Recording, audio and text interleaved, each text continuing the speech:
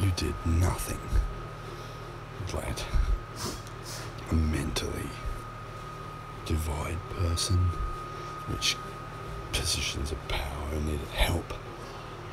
Normal people aren't supposed to be like that.